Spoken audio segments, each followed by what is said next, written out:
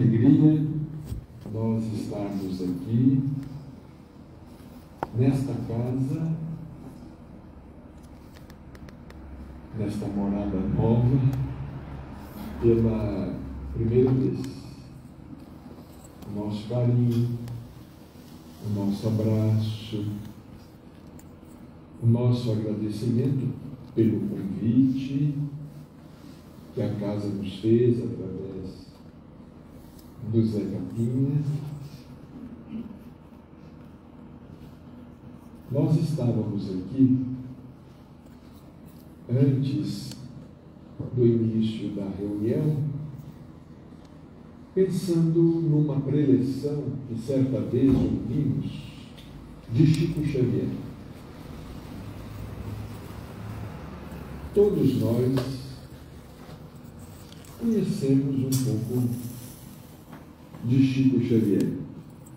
Já ouvimos falar do grande médium, do espírito extraordinário que reencarnou com uma missão muito importante e que cumpriu durante 75 anos de trabalho mediúnico incansável. Dos 17 anos aos 92 tendo desencarnado no dia 30 de junho de 2002. Certa feita, nós estávamos participando com ele de uma reunião no Abacate.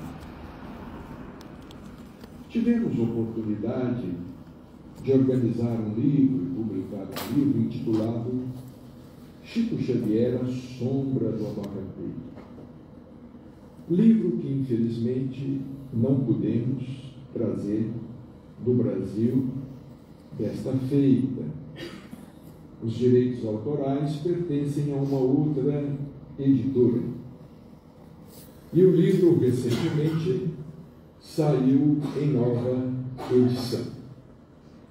Nós estávamos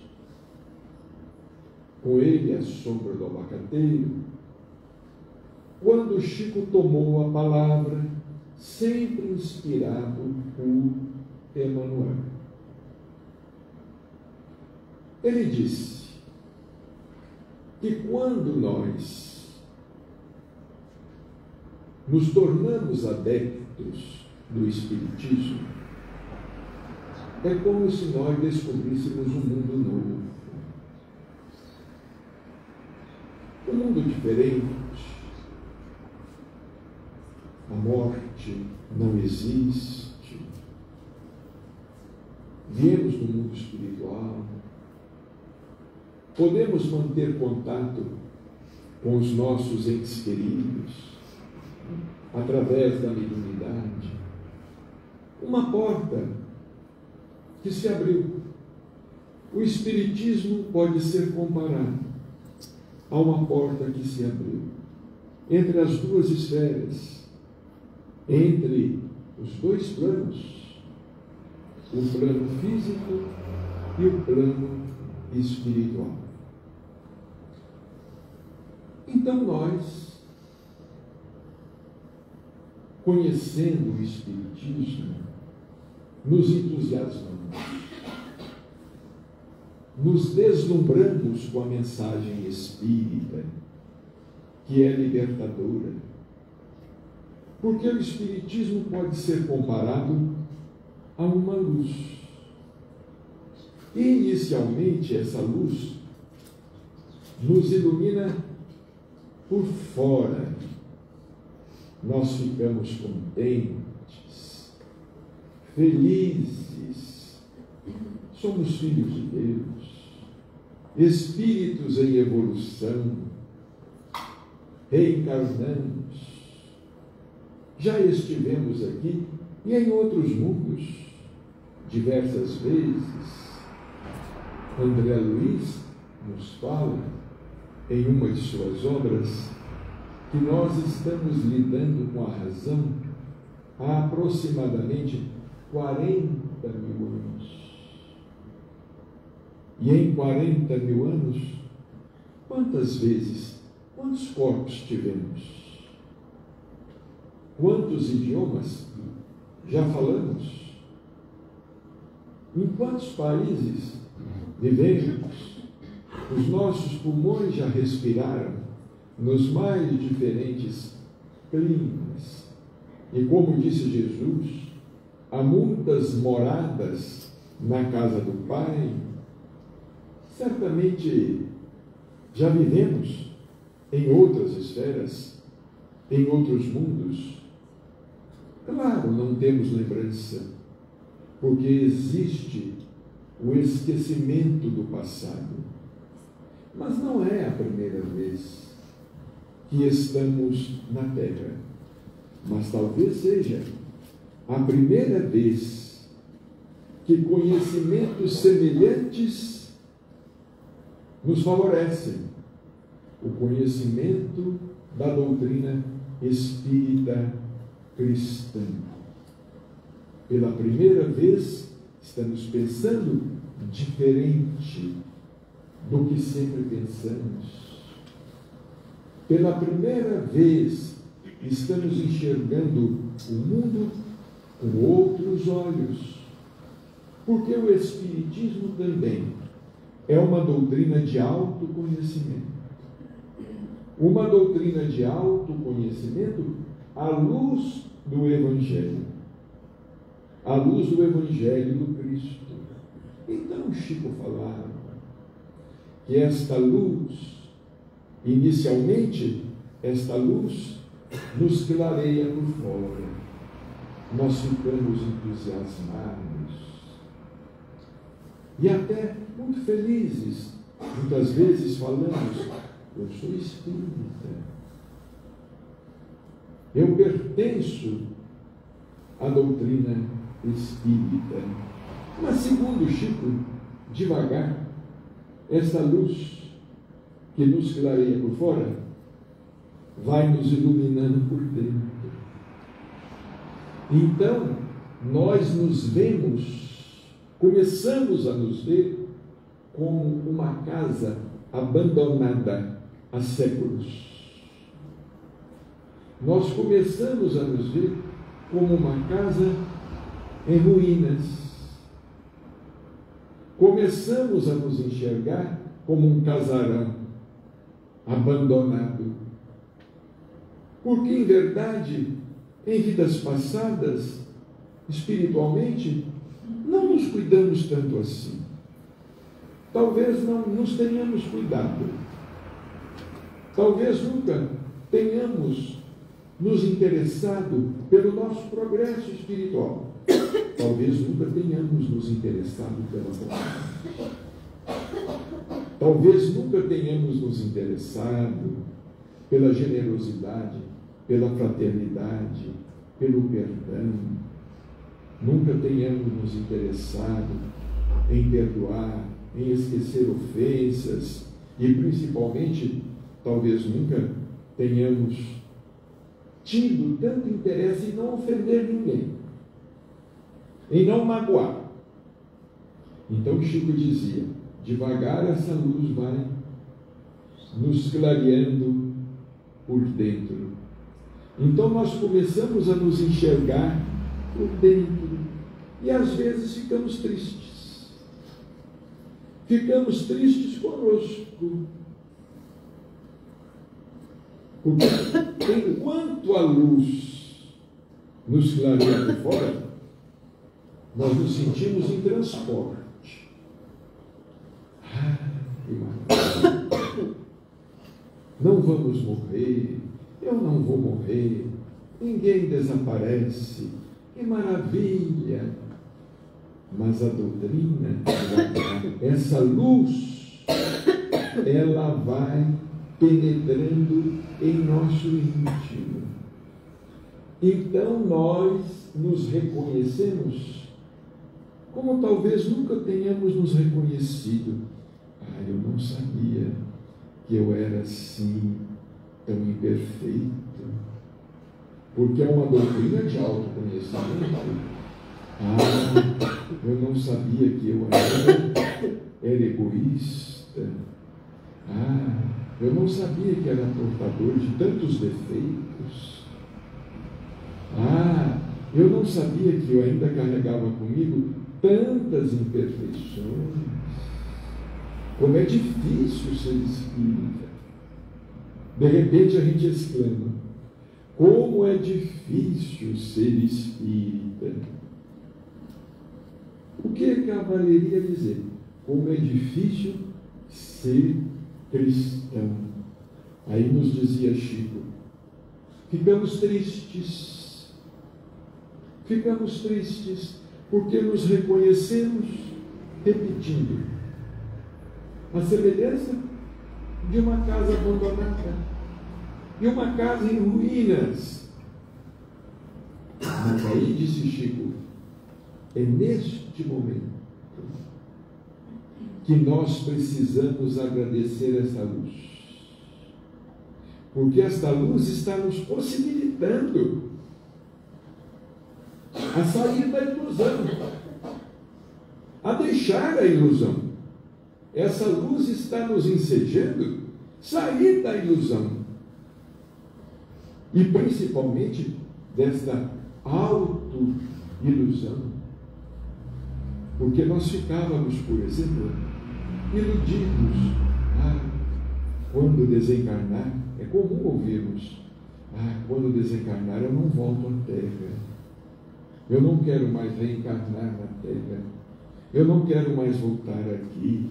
Eu quero ir para o mundo superior. Ah, quando reencarnar eu quero ir para um outro planeta. Eu quero ficar pertinho de Jesus. Quando eu desencarnar, eu quero isto, eu quero aquilo. E a doutrina nos fala, nos esclarece que nós precisamos de trabalhar muito. O Espiritismo nos fala que nós ainda precisamos nos empenhar muito no esforço da autorrenovação, de nossa autorrenovação, precisamos nos empenhar muito. Dizia Chico, muitos ficam tristes neste momento. Ficam tristes e chegam às vezes até perder o ânimo, perder a coragem. Ah, mas como eu tenho que caminhar? Ah, estou tão longe. Certa vez, o espírito do doutor Inácio Ferreira, que se comunica por nosso intermédio, eu falei com ele, doutor Inácio, o caminho é longo. Como é longo o caminho? Como nós temos que caminhar muito? Ele disse assim, meu filho, o caminho é longo, mas a paisagem é linda. A paisagem é linda. Essa caminhada do Espírito em busca da perfeição. Essa caminhada do Espírito em busca da luz é linda. Porque nós vamos observando em nós mesmos, igualmente, as pequeninas vitórias que vamos alcançando no dia a dia, nós começamos a pensar mais no próximo. Nós começamos a pensar mais na humanidade. Nós começamos a nos sentir mais responsáveis diante da vida. Nós já contestamos, por exemplo, mentalmente a existência da guerra, as injustiças, as corrupções. Nós não aceitamos. Nós não aceitamos no mundo exterior, mas também começamos a não aceitar em nós. Começamos a não aceitar em nós tantos erros. Certa vez, perguntaram ao doutor Bezerra de Menezes, ele estava encarnado. Perguntaram ao doutor Bezerra de Menezes qual é a diferença que ele havia observado nele mesmo entre ser espírita e não ser espírita. Qual havia sido a diferença que ele havia observado? Então ele disse sim, existe uma grande diferença. Porque antes de ser espírita, eu corria atrás do erro. Agora eu corro dele. Esta é a grande diferença. Para nós, adeptos da doutrina espírita, antes talvez nós não nos importássemos com os erros, não nos importássemos com as nossas imperfeições e com as nossas mazelas. Hoje, nós temos uma campainha tocando constantemente na consciência, porque o Espírito, o Espiritismo nos despertou. Ou está começando a nos despertar, como nós já tivemos oportunidade de falar. Estamos acordando, ainda bocejando muito, mas estamos acordando e já conseguimos pensar assim: eu preciso ser melhor. Para que o mundo melhore, eu preciso melhorar. Para que a minha vida melhore, eu preciso ser melhor. Eu preciso pensar um pouco mais no próximo, pensar um pouco mais nos semelhantes.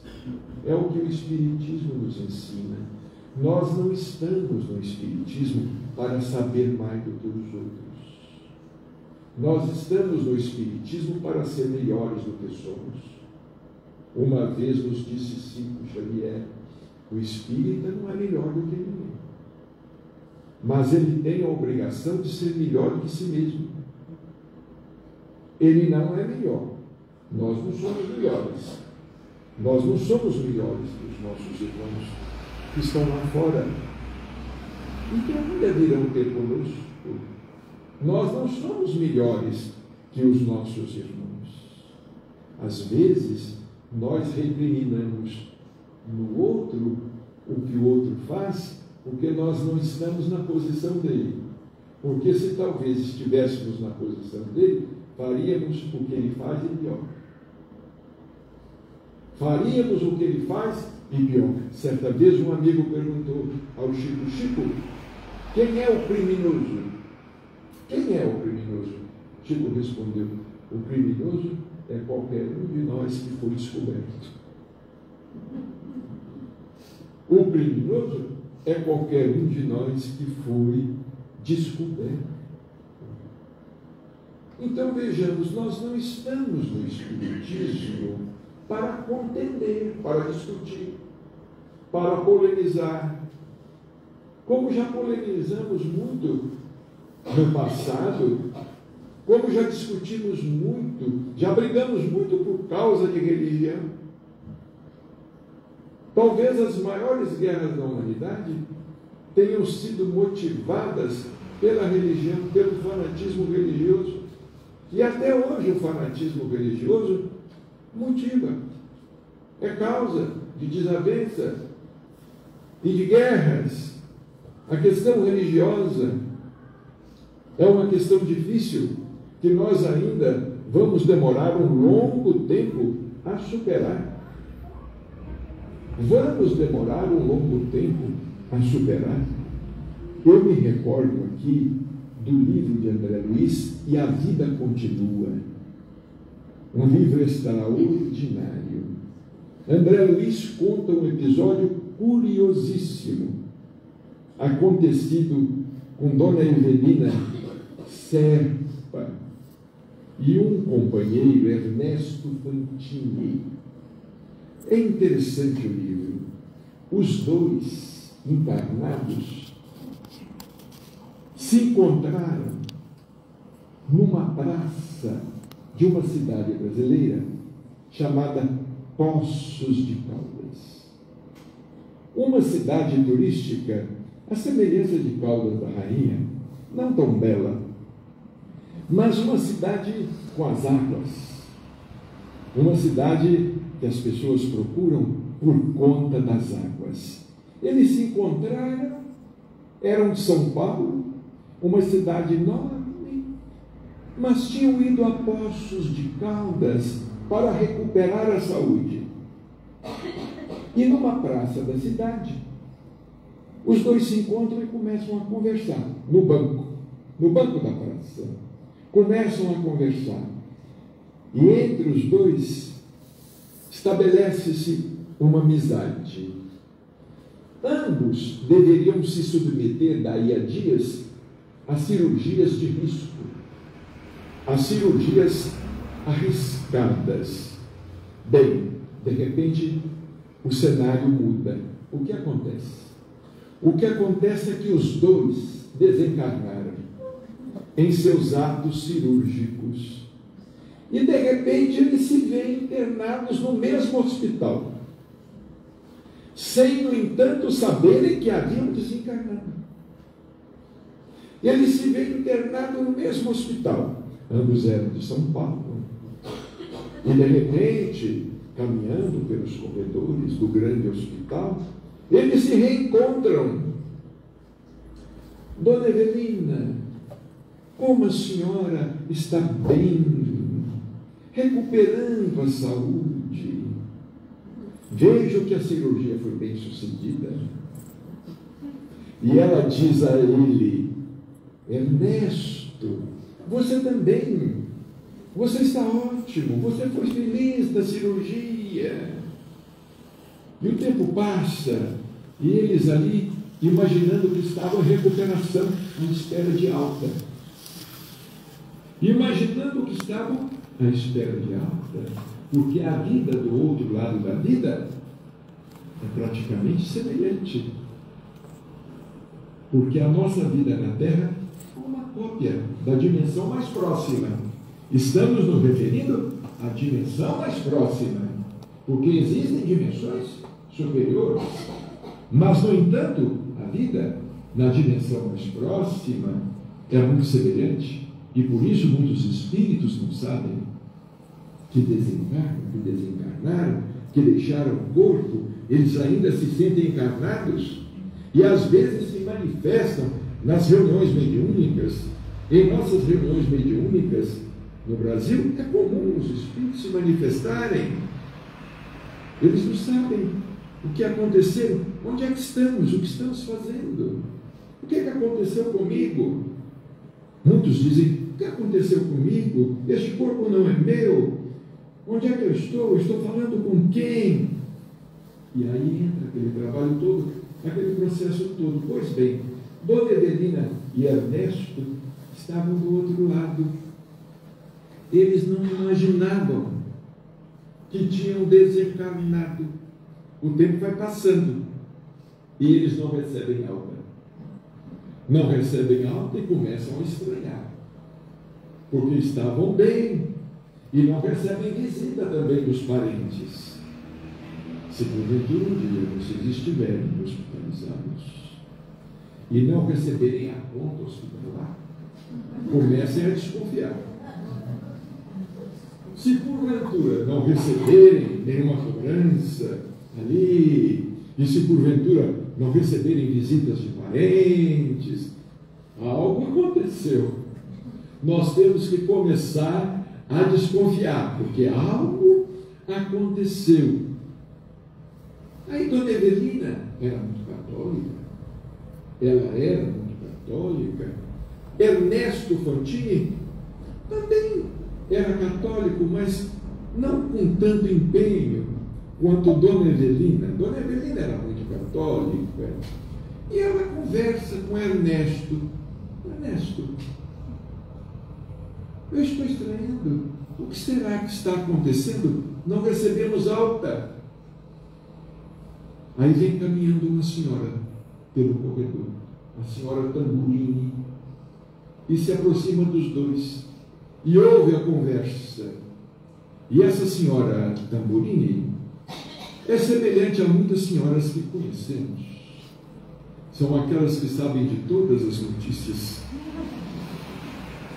A senhora Tamburini escuta o que eles estavam conversando e fala assim com eles: Eu estou ouvindo dizer por aí. Eu estou ouvindo dizer por aí que nós já morremos.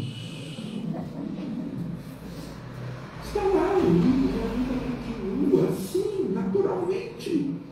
Eu estou ouvindo dizer por aí que nós já morremos, mas não é possível. Dona Evelina, eu não estou no céu. Tampouco no inferno. E começa aquele drama, porque ela é de formação católica, como quase todos nós, ele também veio da igreja. Nós tínhamos aquela ideia, sempre céu, nunca de inferno, no mínimo de purgatório. O senhor Ernesto,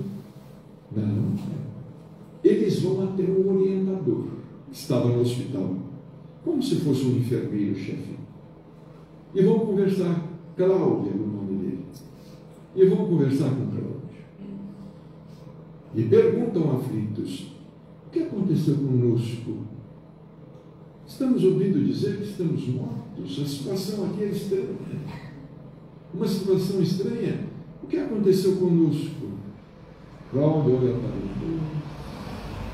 e percebe que eles já estavam tomando uma certa consciência, porque haviam sido informados pela senhora Tamburini, mas não acreditaram. Como é que eles poderiam estar mortos? Eles se apalpavam. Eles não sabiam da existência do perispírito, do corpo espiritual. Eles se apalpavam. Não estava faltando nenhum pedaço. Aí Cláudio disse: É, de fato, nós estamos num outro domicílio espiritual. Estamos numa outra região da vida que não tem fim. Cláudio conversa assim com eles. Né? Aí Dona Evelina fala assim: Ah, mas eu não acredito. Eu gostaria de ouvir isto de um padre. Ela era católica. Ela disse: Eu não acredito. Cláudio diz assim: Pois não. Nós temos aqui igrejas também. Temos igrejas e temos aqui sacerdotes que poderão conversar com a senhora.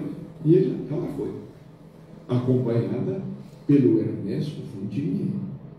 Foi até o sacerdote, certamente um sacerdote com maior esclarecimento da vida, além da morte, não limitado pela teologia, pela teologia, foi até o sacerdote e eles receberam. Ela recebeu a confirmação de que de fato havia deixado o corpo. Então vejamos, nós não estamos no Espiritismo apenas para nos informar, nós não estamos no Espiritismo apenas para saber mais do que os outros. Porque existem espíritas que querem saber mais do que os outros. A verdade é que nós não sabemos nada. Se Sócrates, considerado o pai da filosofia, talvez o homem mais sábio que já existiu, dizia: só sei que nada sei. Se Chico Xavier dizia: eu sou um cisto, eu não passo de um cisto. Certa vez, Chico foi a um evento, foi a um encontro, a um evento.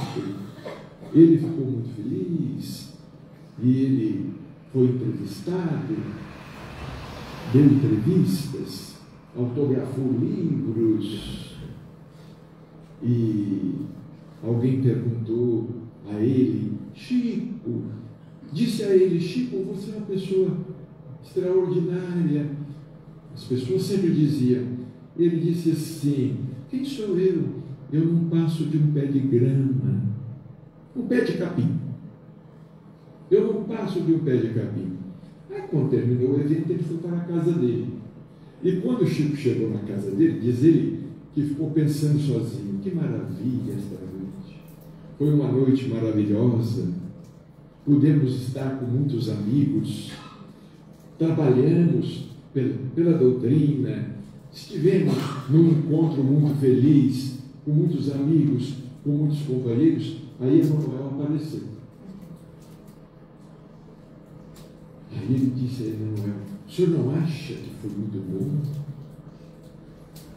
Emanuel respondeu: Só teve um porém. Foi tudo muito bem. Teve um porém, Chico. Aí, Chico, mas o que houve? O que eu falei de errado? Não, você se comparou a um pé de capim. Chico, o pé de capim ainda cresce. O pé de capim cresce. Como se dissesse, porque de fato o pé de capim cresce. O mato cresce. Cresce para baixo e cresce para cima. Então Emanuel, que não perdia a oportunidade, e por falar em Emanuel, eu não saberia dizer, eu não saberia dizer quando é que nós estávamos na presença de Chico ele mesmo, ou quando é que nós estávamos na presença de Emanuel. Tal era a interação entre os dois. Embora hoje eu possa falar a vocês algo que talvez até não soe bem aos ouvidos de alguns. Na nossa opinião particular, Chico era o espírito hierarquicamente superior a todos. Chico encarnado, porque alguém me diz assim, Marcelo, mas como? Como é que você justifica isto? Eu falei, é simples. Os espíritos que se comunicavam pelo Chico foram centenas e centenas. Chico era sozinho aqui embaixo.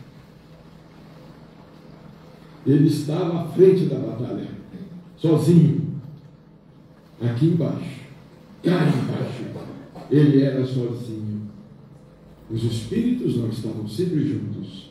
Emanuel era uma legião, uma falange mas então, Emmanuel disse a ele: Chico, o pé de capim ainda cresce. Às vezes, Chico atribuía sabedoria própria ao espírito de Emmanuel. Porque ele nunca, ele evitava falar por ele mesmo. Ele evitava dizer qualquer coisa dele mesmo. Ele dizia: Emanuel está aqui. Às vezes estava. E às vezes era Emanuel, mas às vezes era ele mesmo. Porque ele tinha uma sabedoria extraordinária. Ele era um agente de, do mundo espiritual encarnado na Terra. Ainda há pouco teve uma amiga que nos perguntou assim, eu dizendo da elevação de Chico Xavier, ela nos perguntou: e aquele olho doente do Chico? Aquele olho esquerdo, não é? Porque muita gente diz assim: ah, mas o Chico tinha um karma com aquele olho. Era um espírito com um karma com aquele olho. Eu vou contar uma história para vocês a respeito daquele olho esquerdo de Chico Xavier. Nós temos um amigo em São Paulo, nós temos um amigo espírita e ele é dono de uma ótica. Ele fazia os óculos para o Chico. Nos últimos anos, ele fazia os óculos para o Chico. O Chico se consultava nos últimos anos com um doutor, um oftalmologista em São Paulo. Amigo, um oftalmologista amigo, porque o caso do olho esquerdo dele era um caso complicado. Muito bem, o médico mandava a receita para o oculista, para o dono da ótica. O dono da ótica, o João, que é nosso amigo, nosso conhecido, mora em São Paulo. O dono da ótica recebeu aquela receita e achou que o médico tinha errado. A receita estava errada. Não era possível confeccionar aqueles, aqueles óculos, não era possível. Estava errado alguma coisa. Ele ligou para o médico, que havia examinado o Chico. Doutor, eu recebi aqui a receita para fazer óculos para o Chico Xavier. Mas eu queria conversar com o senhor a respeito dessa lente que o senhor receitou para o olho esquerdo.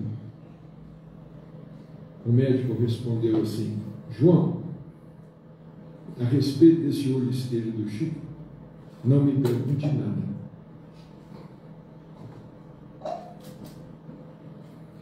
A respeito desse olho esquerdo do Chico, não me pergunte nada. O médico, nem o médico saberia dizer alguma coisa. Nós cá conosco, né? Dedução nossa. Ah, eu imagino que o Chico enxergava os espíritos com aquele olho esquerdo. O direito era nosso, o esquerdo. Ele enxergava o mundo espiritual constantemente, porque Chico era um médium, foi um médium em tempo integral. Vejamos bem, nós conhecemos médiums clarividentes que enxergam os espíritos uma vez na vida, outra na morte. Uma vez na vida, outra na desencarnação. De vez em quando. Ah, de vez em quando eu vejo um vulto. Ah, de vez em quando eu escuto. Ah, de vez em quando eu me lembro. Eu, eu saio do corpo. De vez em quando. Nós somos médios. Nós que somos médios nós somos médios de vez em quando. Chico não era médio de vez em quando. Ele era médio 24 horas por dia. Todos os dias. Uma senhora que trabalhava com ele na casa dele nos contou este episódio. Ela era governanta da casa dele. Nós a conhecemos muito, era nossa amiga. Era governanta da casa dele. E quando ela entrou para trabalhar na casa de Chico, Chico a chamou e disse assim: Minha filha, quando você me ver caminhando pelo jardim, pelo pátio da casa, dando voltas e conversando sozinho, você não, não estranha. Eu não estou conversando sozinho eu estou conversando com os espíritos. E se você porventura me ver até fazendo assim com o ouvido, também não estranho, porque eu estou procurando ouvir melhor o que me dizem. E ela nos dizia que o Chico de vez em quando andava refletindo, meditando. Ele não podia sair às ruas, porque quando ele saía às ruas de Uberaba, ele logo era abordado. Aproximava-se. Ah, o Chico Xavier ali. As pessoas iam. Olha o Chico. As pessoas corriam. E pediam. Eu quero um autógrafo. Chico, me dá uma receita. Uma receita. Chico, o meu filho está doente. Ah, o meu neto. Chico isto. Chico aquilo. Então, vejamos bem é, que coisa curiosa. Chico era médium em tempo integral, às 24 horas do dia. Nós somos médios de vez em quando. Então, o médico falou a respeito daquele olho esquerdo do Chico. João, você não me pergunte nada, porque eu não sei dizer. Eu não sei dizer, eu não sei falar. Nós estamos no Espiritismo. para melhorar a nós mesmos. E sabemos muito pouco. Aquele que sabe muito não sabe nada. Aquele que sabe muito não sabe nada. Aquele que se gaba de ter grande conhecimento é a vaidade falando mais alto. É o personalismo falando mais alto. Chico não se cansava de dizer: Eu sou uma formiguinha. Eu não passo de uma formiga. Eu sou uma formiga das menores, que anda sobre a terra cumprindo com a sua obrigação. Eu sou uma formiga das menores. O Espiritismo é uma doutrina de autoconhecimento. Nós precisamos ficar muito felizes pelo conhecimento da doutrina espírita, como nos ensina Emmanuel, porque de fato o Espiritismo é um processo libertador de consciências. Nós temos aprendido muito, temos avançado muito, temos adquirido nesta vida um tesouro. Chico nos contou que certa vez ele estava caminhando entre os túmulos de um cemitério existente em Uberaba. E ele se aproximou de um túmulo e ele viu um espírito que estava sentado sobre o próprio túmulo. Vejamos bem, nós vamos citar dois exemplos ele viu um espírito sentado sobre o próprio túmulo.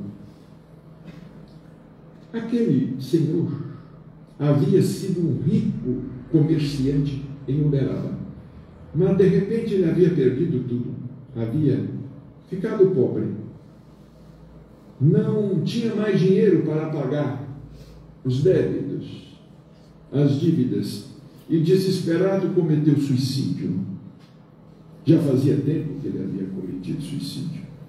Mas arrependido, ele estava ali, preso ao próprio túmulo, preso aos restos mortais, arrependido do que havia feito. E o Chico se aproxima. E o espírito vê que o Chico o vê. E eles começam a conversar. E a conversar mentalmente não necessariamente articulando palavras, porque todos nós podemos conversar mentalmente, nós não conversamos com Deus através da oração. Aquele espírito começou a conversar com Chico e contou o seu drama a Chico. Aí ele disse assim: Chico, vocês, os espíritas, são os verdadeiros milionários da terra porque se eu soubesse do que os espíritas sabem, eu não teria feito o que fiz. Eu não teria cometido suicídio se eu soubesse o que vocês sabem. E um outro caso, contado por Chico, que aconteceu com ele também no cemitério. Certa vez, ele foi acompanhar um féretro e quando ele estava voltando, depois do sepultamento do corpo, ele estava voltando, ele viu um espírito rente a uma cova. Ele viu um espírito muito alto. Era um senhor muito forte. Era um homem de mais de dois metros de altura chapéu na cabeça. Estava usando um sobretudo comprido. Estava ali, rente a uma cova. Mas o Chico percebeu que aquele espírito estava bêbado. Diz o Chico que chegava a sentir o cheiro do álcool. Aí ele se aproximou e começou a conversar o espírito daquele senhor. que inicialmente pensou tratar-se até de um coveiro. Porque Chico às vezes confundia os encarnados com os desencarnados. Não é? Então, ele aproximou-se daquele senhor e começou a conversar. E perguntou: O que, é que o senhor está fazendo aqui? Ele disse: Chico, eu trabalho aqui. Ele não falou Chico, ele respondeu: Eu trabalho aqui. Trabalho aqui no cemitério. Aí Chico, mas o senhor é coveiro? Não, não sou. Mas o que o senhor faz aqui? Ele estava na beirada de um túmulo. Ele falou assim: Eu pulo lá embaixo.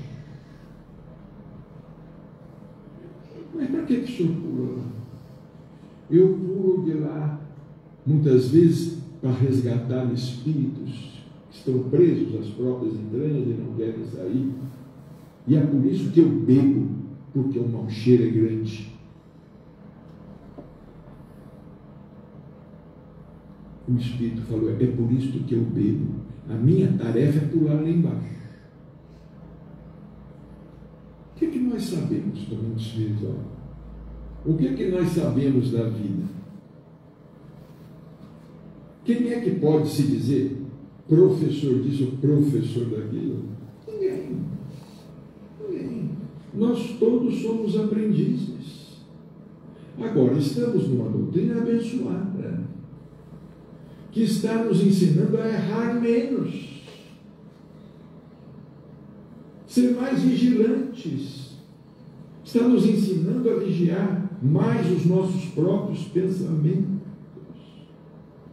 está nos ensinando a termos um pouco mais de humildade, um pouco mais de compreensão, um pouco mais de amor à vida, está nos ensinando a aproveitar melhor o tempo. Aproveitar melhor o tempo que nós temos aqui. Porque de fato a encarnação passa depressa. Eu digo por mim mesmo. Eu não acredito que estou com 71. Não acredito. Porque eu não sei para onde foi o tempo eu não sei dizer para onde foi o tempo, porque eu ainda sou aquele menino que soltava pipa, papagaio. Eu, eu ainda sou aquele menino que corria atrás de uma bola. Eu ainda sou aquele menino que nadava nas enxurradas. Eu ainda sou aquele menino que invadia os quintais para roubar frutas.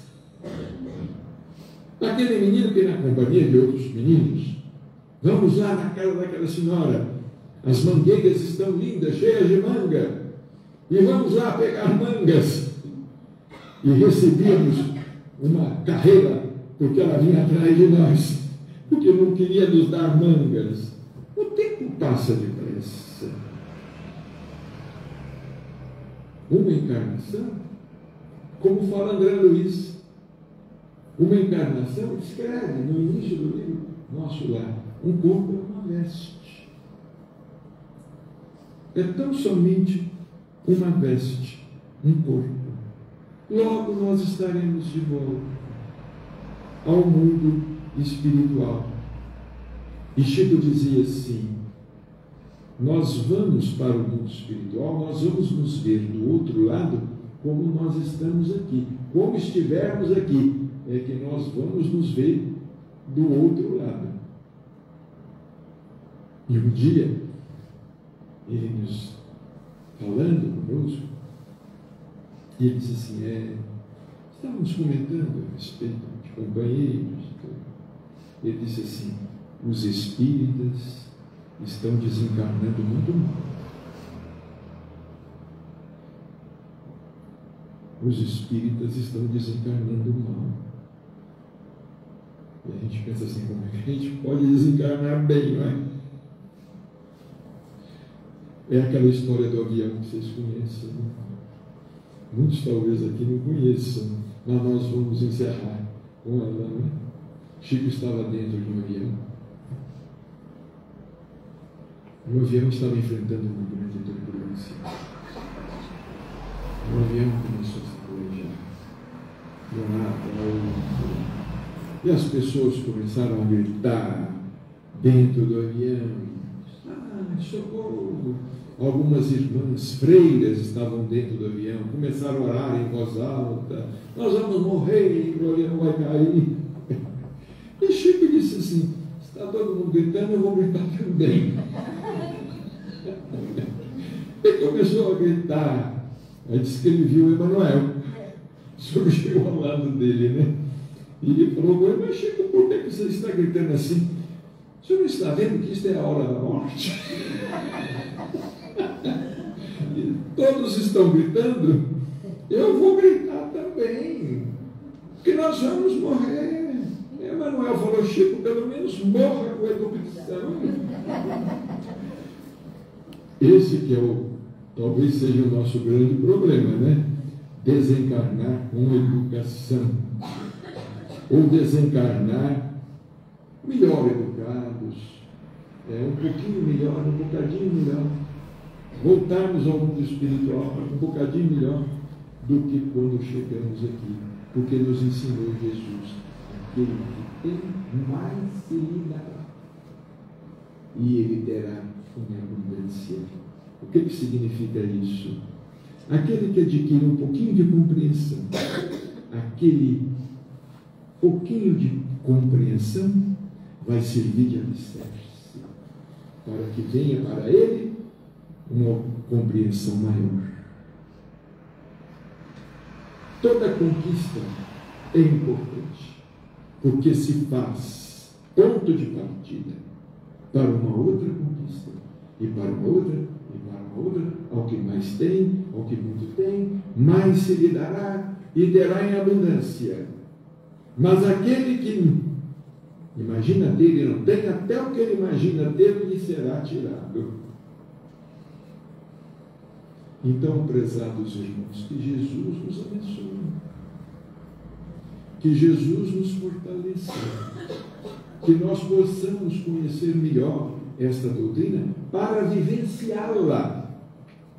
Vivenciá-la, para que nós possamos praticá-la no dia a dia, com um pouco mais de empenho, junto aos nossos familiares, junto aos nossos amigos, junto à comunidade, que nós possamos colocar em prática a doutrina em prática para que o mundo seja melhor, para que o homem um dia deixe de fazer tantas guerras.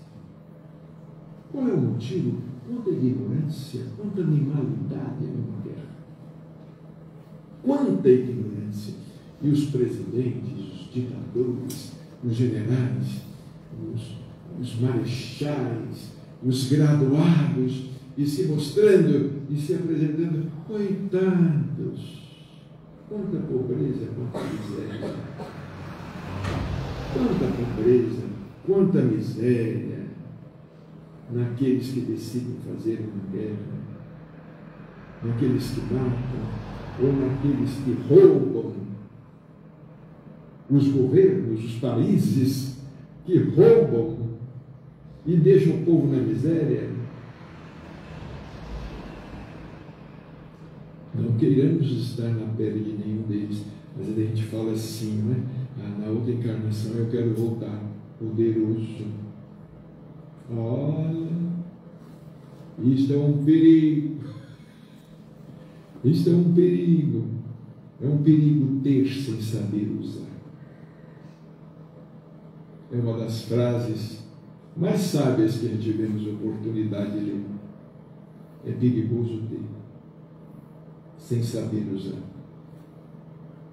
Que Jesus nos ampare e nos abençoe sempre. Muita paz. Obrigado.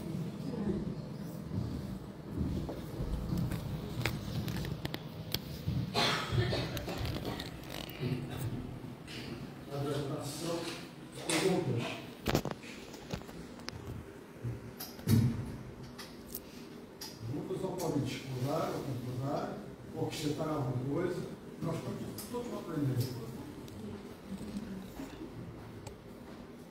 Perguntas, Marcos? Acho que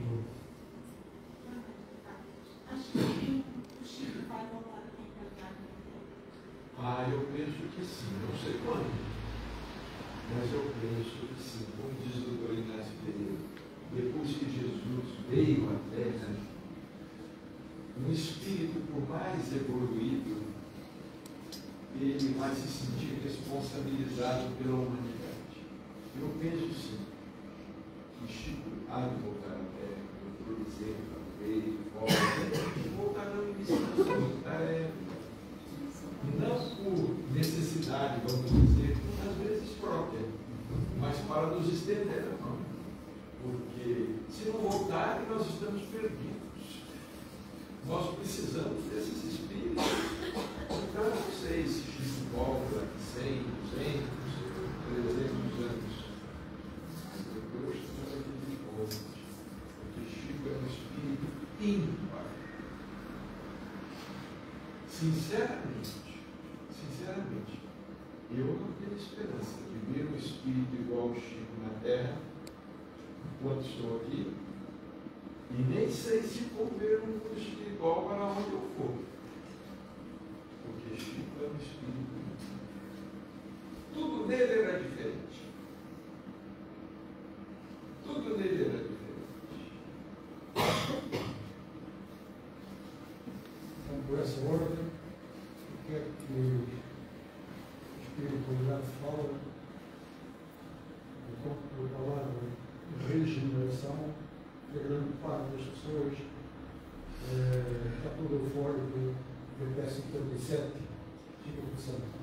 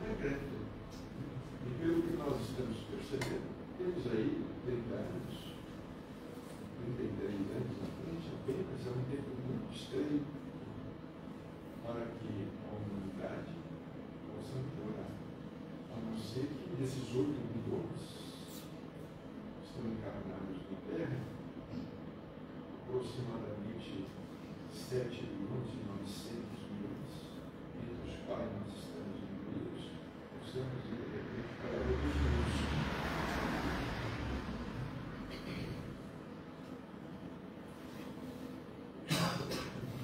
Perguntas?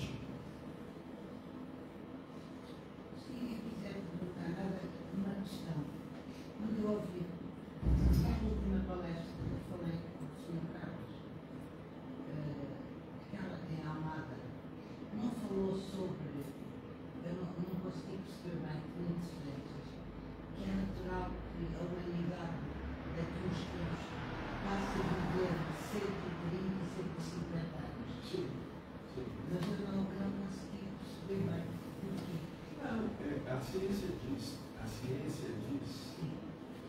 criança que vai viver 150 anos já nasceu. Então, o progresso da ciência, da medicina, da tecnologia, o progresso da ciência, enfim, a tendência é que o homem consiga viver um pouco mais sobre a Terra. Como a nossa vida média em séculos passados era menor, a nossa vida média em séculos passados era vivia no máximo 40 anos, e às vezes 44 anos. Né?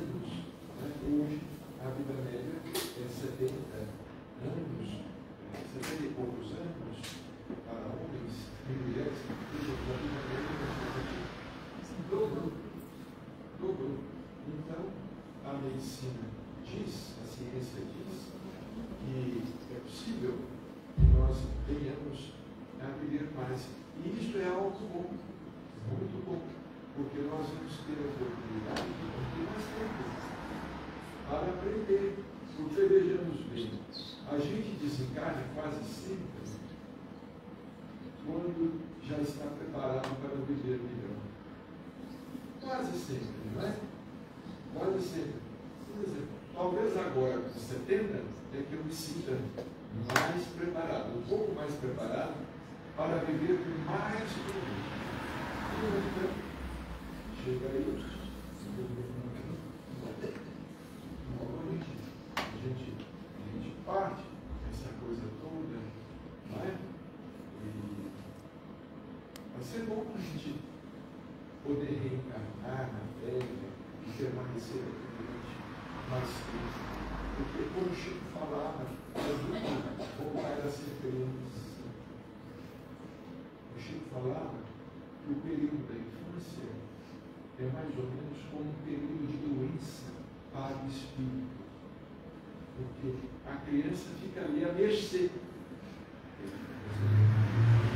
O maior medo de reencarnar é o de voltar a ser criança. Eu, se pudesse querer reencarnar, já uns 15 anos, temos 15 anos, porque até os 15 anos a gente sofre, se expõe a muitos perigos. Às vezes são os pais que conduzem bem, às vezes são aqueles que estão à volta, que cuidam bem. E nós não temos ainda merecimento. Às vezes a gente sofre uma violência qualquer, às vezes a gente padece qualquer coisa deste mundo. Eu mesmo penso dos perigos que eu passei na minha infância e penso assim, meu Deus, como é que eu escapei? Como é que eu escapei? Eu estive à beira da desencarnação. Então vejamos bem, Chico dizia, é fácil ser criança. Leon Denis, Leon Denis, discípulo da Kardec, ele dizia que a reencarnação moral acontecia para o espírito do século XIX por volta dos 21 anos de idade. A reencarnação moral, que o espírito então adquiria aquela, aquela possibilidade, aquela força, reencarnação moral. Hoje essa reencarnação moral está acontecendo mais cedo, né? Até o Chico defendia a queda da maioridade penal. O Chico no Brasil, a maioridade penal deveria cair para 14 anos. Porque com o avanço da tecnologia, televisão, computador e tudo mais, os espíritos estão mais depressa, mais rápido. Porque a maioridade penal deveria acontecer aos 14 anos. Aos 14 anos, o adolescente, aquele que tivesse 14 anos, deveria já responder perante a justiça pelas suas ações. E a gente vê no Brasil